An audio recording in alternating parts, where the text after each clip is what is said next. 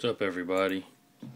Just doing a little uh, YouTube review for Anastasia of netbug.net.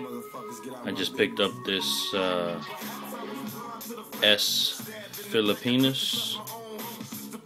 My son always laughs, Junior, whenever I say that name. It's a Filipino tangerine or a Filipino orange. It's uh, about a half inch sling.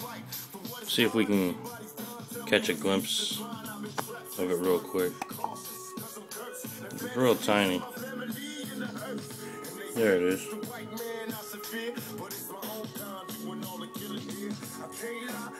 Small one. Nothing too crazy going on. But this is what's going to look like when it grows up.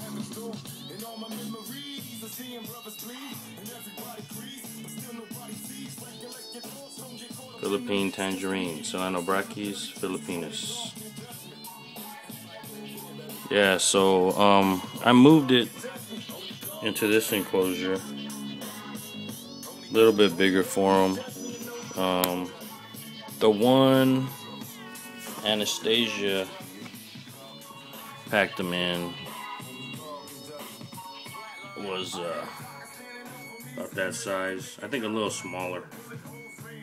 Um, great packing. The paper towel was uh, packed in there real tight.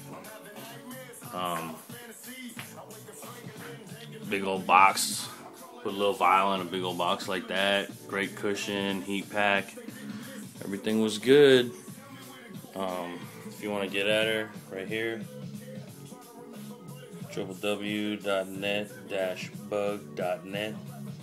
That's what it stands for and it's uh, Anastasia was my point of contact. Um, you know what? Here's the little vial right here. The little, little, little, little one. That one. That's the one he was in.